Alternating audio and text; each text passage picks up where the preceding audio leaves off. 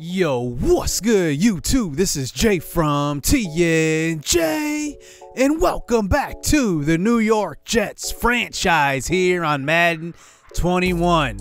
Now, in the opener on the road in Buffalo, we did not look good. We turned the ball over a few times, and Buffalo's offense did what they wanted versus our secondary. Stefon Diggs, John Brown, Cole Beasley, all those guys did pretty well versus us. Now, we do have a couple of upgrades coming into this game. Blake Cashman, who I'm excited for as a young middle linebacker, he actually has an upgrade. He goes up to number 50 in the uh, NFL, and I'm looking forward to seeing what he can do. That speed alone gives him an advantage and maybe even could create some turnovers that will allow him to progress even faster. So in this episode, we will be going up against two very good run offenses in the 49ers and the Colts. The 49ers have all of the superstars and X Factors in this game. We have zero on our team. Just remember that. So we start out this game at home, our home opener here as we throw to the middle of the field to find Chris Herndon, who had nine receptions, almost 100 yards last game. He picks up the first down. To play action fake this time, trying to get rid of it, and there is Nick Bosa. He's going to be in there really fast. You already know. So now we get it to an eventual third and 10 from our own 36 this time. Darnold moves to the right side. He's going to stop and throw, and he just airmails this one. It's going to be picked off. Richard Sherman there in coverage. He just needed to throw it up and just throw it up there and maybe a little bullet, but instead Darnold lobs it, and Sherman comes up with his first interception of the season. So we do eventually get the ball back here. Nothing doing in the first quarter. Here's a throw to the right side. It is going to be caught by Chris Herndon over Mosley in coverage. It's a first down. Nice catch. I mean, I'm loving what Chris Herndon's doing so far here this season. So inside the 10, here's a handoff. Le'Veon Bell coming off of a multi-touchdown game. He gets inside the five-yard line. And now we get it to the two. So second and goal, pitch out to the right side, and the defense is right there to stop that. It looks like Tart was in there. Looks like Fred Warner was also in there. And now we lose a few yards. So third and goal at the seven, again getting hit on the throw. This pass rush is getting in there on every single play and making Darnold look like a bad quarterback. So we move on to the second half, and I will be playing the moments in some of these games. Some of them I will play the full game. Some of them I will just like you know, edit it down based on what's going on in the game. Nothing doing here in the first half, nothing too exciting. So we're on to the second half now. Here's Jimmy G out onto the field. That in the shotgun. Third and 11. He dumps it off short. And that's going to be a stop that time by the defense. Avery Williamson. Cashman came in late. And they will settle for the field goal here at the 17 yard line. The kick is up. And it is going to be good. Flag on the play. And let's see what it is is going to be running into the kicker, roughing the kicker, actually. Take a look. Bruh. What is going on? Bless Austin came around that edge and just like didn't hold up. That wasn't even a punt block, field goal block play. So now first and goal, throw across the middle, and it's caught wide open. George Kittle. That was a damned if you do, damned if you don't play. You leave Kittle open, the slant route's open. You leave the slant route open, Kittle's open. And now the San Francisco 49ers just take advantage of us. I mean, they are just killing us on defense, and we can't do anything on offense. It's 24 to 3 as we move on to the fourth quarter. So now we get it to the 35 yard line here. We're down by three scores. Got to go for it. Fourth and one. Eight minutes left. Throw to left side. It's caught by Denzel Mims. Great hands on that one, catching traffic as well. First down. And now we're inside the red zone. So here is Darnold this time. He's going to take it to the right side, pick up a block, and try to get out of bounds, but somehow he does not keep sprinting on that one. He kind of just goes into a jog, and the defender comes up, catches up to him, and makes the tackle. So first and goal, throw across the middle, and it's going to be Breshad Perryman who can't hold on to it, and that one was a touchdown drop. So second and goal, another throw. We try the same play, but the other way, and it's picked off this time by, it looks like Mosley.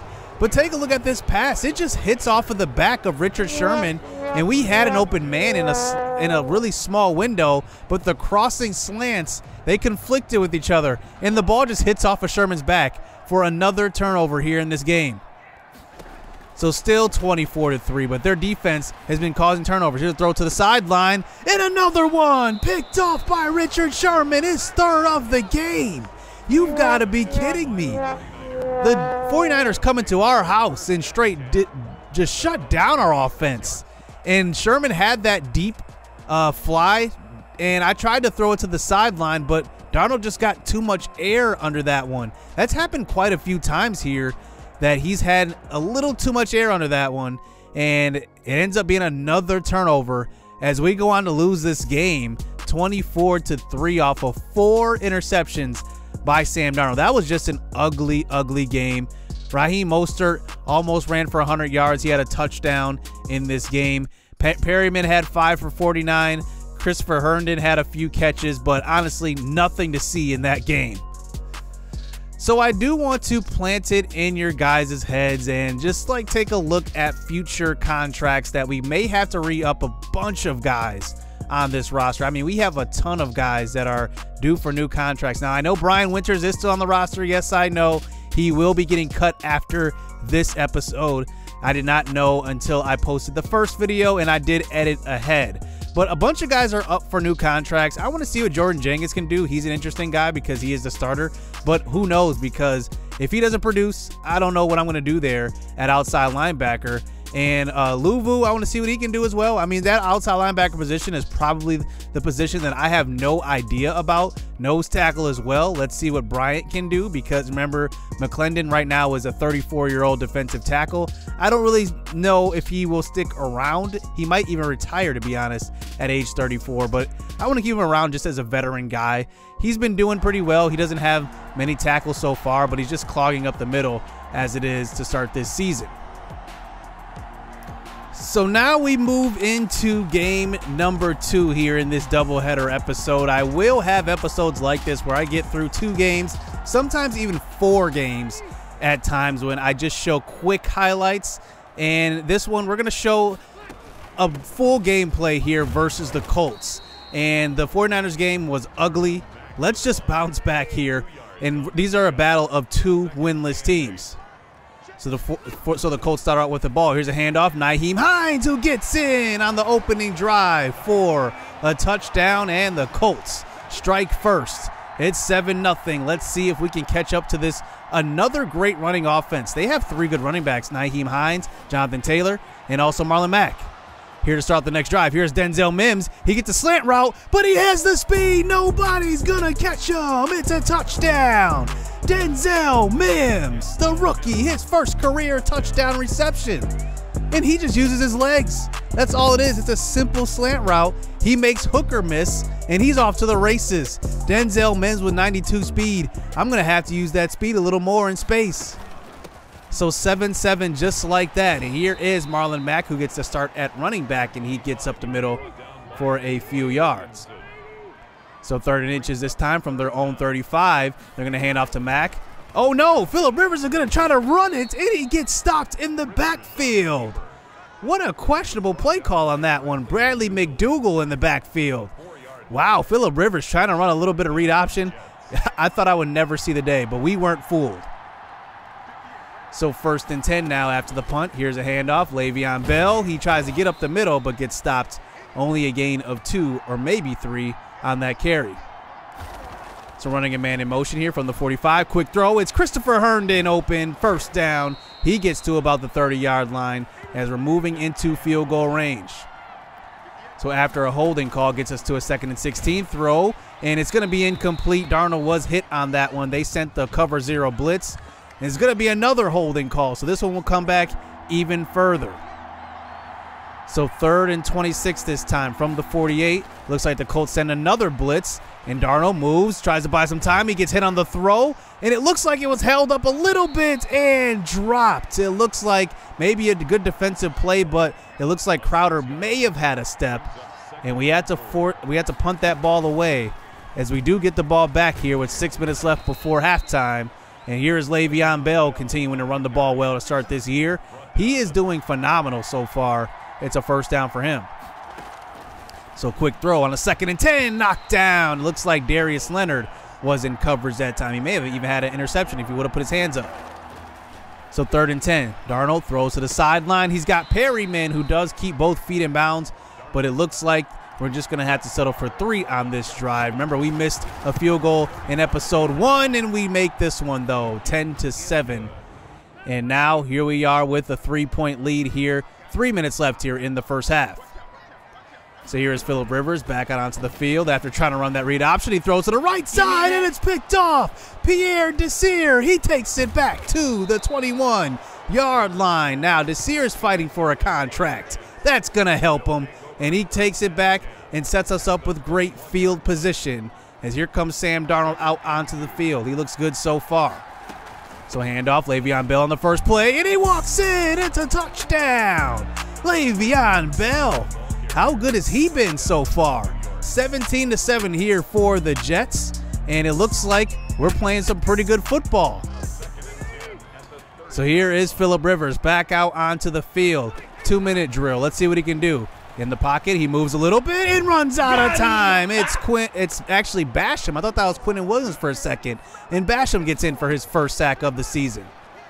So Philip Rivers on a third and 14, he just dumps it off. Questionable throw on that one. They hurried up to the line, third and long, and they dump it off to the running back. Well, here's our offense backing onto the field here with two timeouts left. Quick throw across the middle. Jamison Crowder's got it. First down. Nice catch. And nice throw by Darnold. So bunch formation to the right side. Le'Veon Bell next to Darnold in the pocket.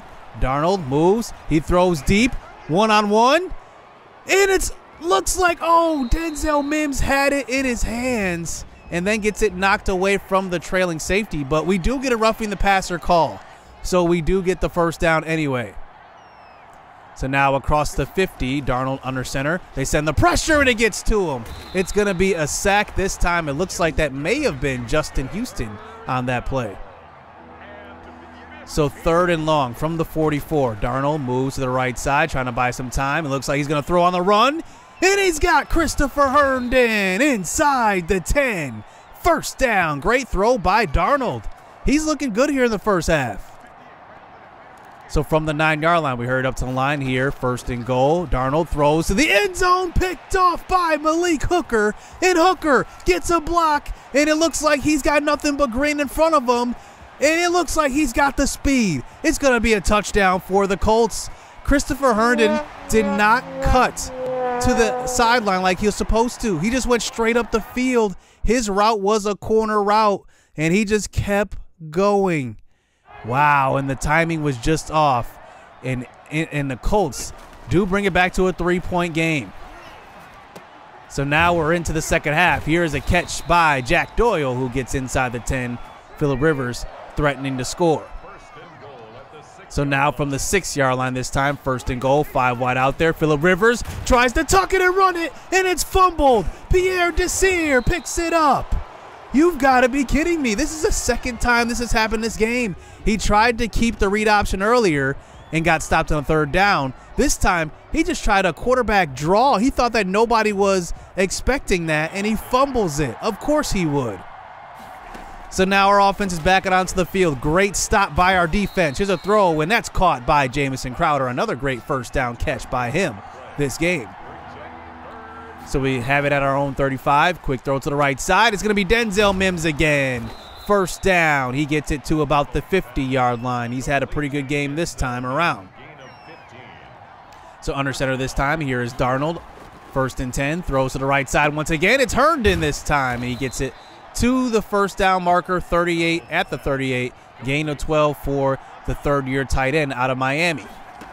So second and 11, quick throw to left side. It's Le'Veon Bell who's got. Another first down. We are nickel and diming them all the way up the field, just throwing at the sticks. So we come out with five wide now. Let's see what we can do. Darnold has time. He moves to left side, throws on the run. In traffic, it's going to be Crowder who's got it. Another first down throw on a first first down attempt and now inside the 15, Darnold, he's rolling in this one. So as this third quarter gets under a minute left, Darnold moves out of the pocket. Somebody's chasing him. He's going to throw on the run, and it's caught by Denzel Mims. Touchdown, number two on the day for him. The rookie has had his coming out party here in the third game of the season. the battle of the 0-2 teams in this one. It's 24 to 14. So here is Marlon Mack starting out the next drive as we move towards the end of the third quarter, the last couple of plays. And Marlon Mack has been held in check for the most part. So third and four this time, trying to run a screen pass, and it's going to be a hit. It looks like Quinnen Williams was in on that hit, and looks like we do get the punt.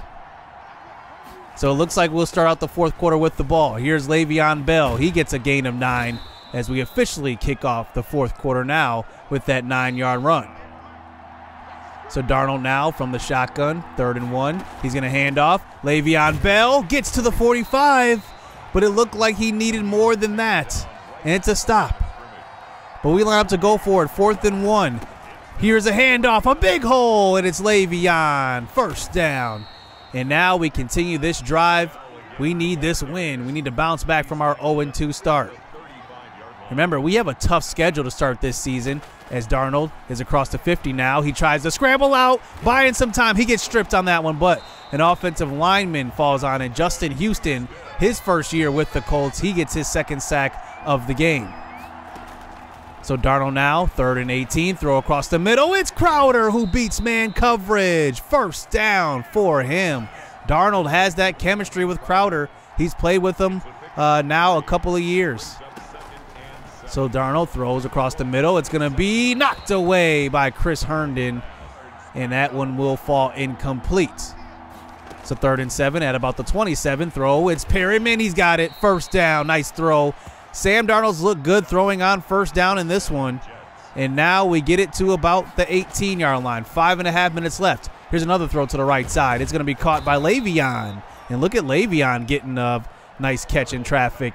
And you know he is a pass catching running back. He also can run between the tackles. What can't Le'Veon do? Here's another catch. And he will walk in. Touchdown. Le'Veon Bell. Could he lead the league in total touchdowns this year? Maybe he could because he's on his way. Right now, I believe he is top three in touchdowns, and that one stretches it to a three score game officially. It's a 17 point lead here for uh, the for the Jets. I'm saying the Colts. So here's Marlon Mack getting a screen pass, and he will take it to the right side, and he picks up a big time first down. Maybe that will get this offense going. That it, that actually puts Philip Rivers over the 100 yard mark all the way in the fourth quarter. So Rivers throws into traffic, knocked away.